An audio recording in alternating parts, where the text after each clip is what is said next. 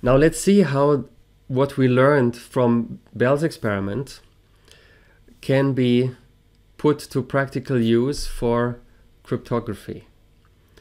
And this is um, the basis of the so-called EPR protocol. EPR stands for Einstein, Podolsky, Rosen. Um, they published a very famous early paper on quantum theory in which they proposed precisely the kind of experiment that I showed you on the previous page with entangled particles.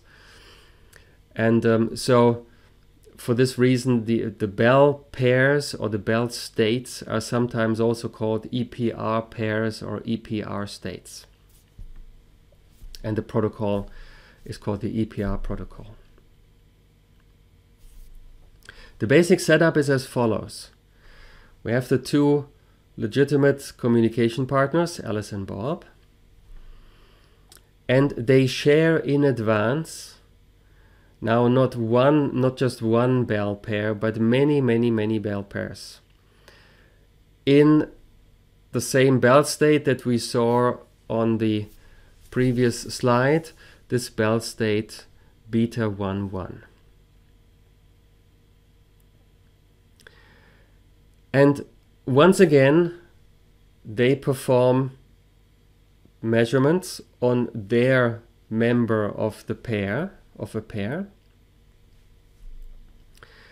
And these include the same measurements that we saw in the context of Bell's experiment. So on Alice's side, these observables Q and R, and on Bob's side, the observables S and T. So they are the same observables that we saw on the previous slide. However, there's now there's there's a modification. In addition to these two observables on each side, Alice and Bob are, are allowed to measure a third observable. Alice is allowed to measure also S, which is the same as that Bob measures.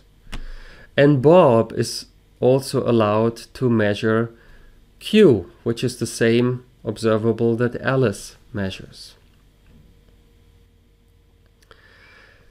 So what happens? Alice and Bob perform on their members of these many bell pairs one of the three measurements that they are allowed to make randomly and without uh, sharing beforehand sort of the order or which measurements they want to perform, but independently and randomly they measure, they perform one of the three measurements on each member of the bell pair and then yeah for different members of different bell pairs they perform different measurements in a completely random fashion. Now it may happen that for for one bell pair Alice and Bob measure the same observable. So it could happen that by accident they both measure Q or they both measure S. These are the two possibilities.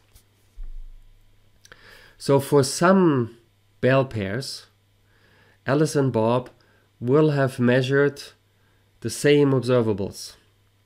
And for others, they will have measured different observables. If they measure, when they measure the same observables, then their outcomes are guaranteed to be opposites of each other. Because this Bell state beta 1 1, this is the Bell state with perfect anti-correlation. remember that's the Bell state 0, 1, minus 1, 0. So if in the standard basis, that's obvious, if um, the measurement outcome on one qubit is 0, then the measurement outcome on the other qubit is guaranteed to be 1, and vice versa. This Bell state beta 1 1, however, has the additional property that this perfect anti-correlation also holds for arbitrary measurements, not just in the standard basis, so in an arbitrary basis.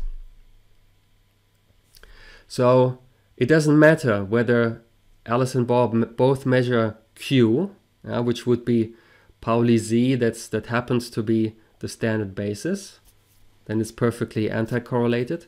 But also when they both measure S, then it's also perfectly anti-correlated.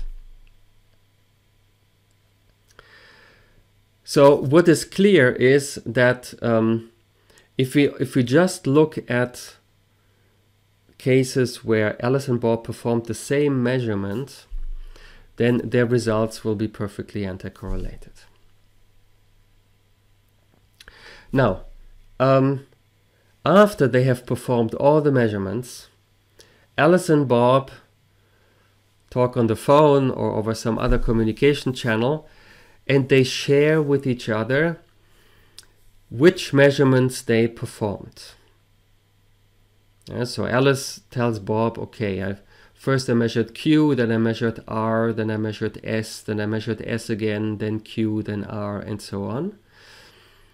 And um, and likewise Bob.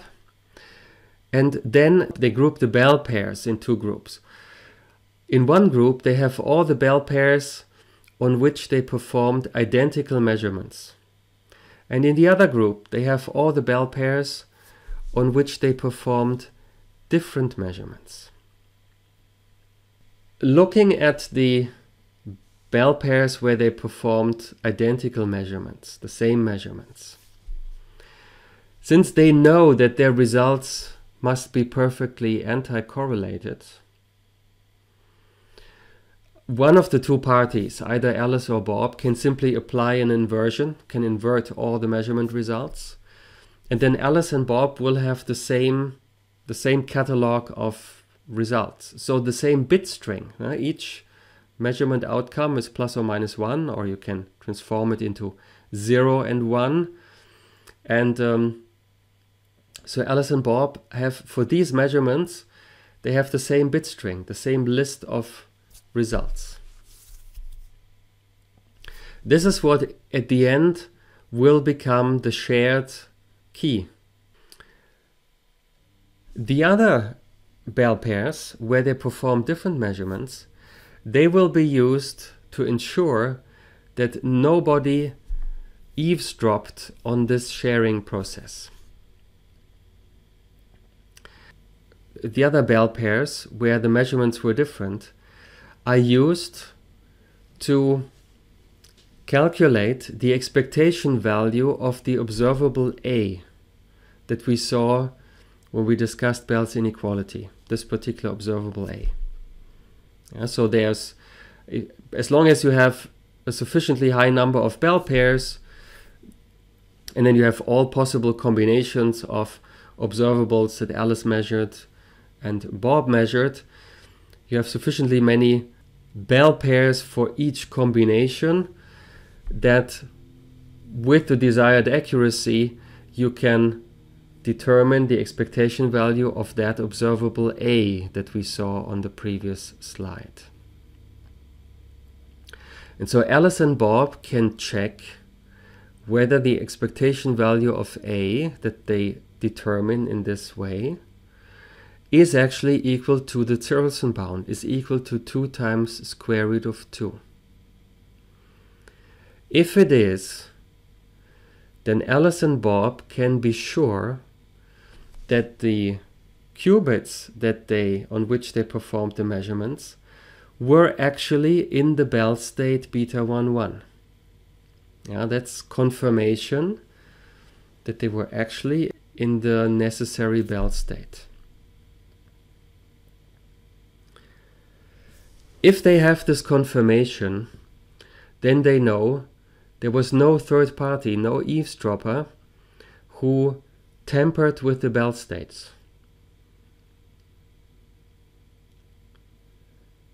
Now, an eavesdropper, in order to extract any information about the communication between Alice and Bob would have to establish some correlation with the qubits that are shared between Alice and Bob. And we we discussed in one of the previous lectures we discussed discussed the monogamy of entanglement. We discuss, discussed the fact that if you have two systems that are in an entangled state, they cannot be correlated in any way with a third system. So here the conclusion is if Alice and Bob have confirmed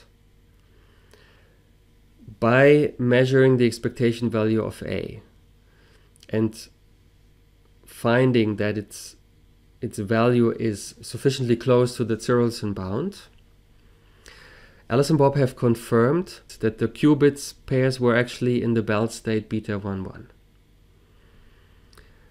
With this confirmation, they know their qubits were in an entangled state and therefore they cannot have been entangled with a third party.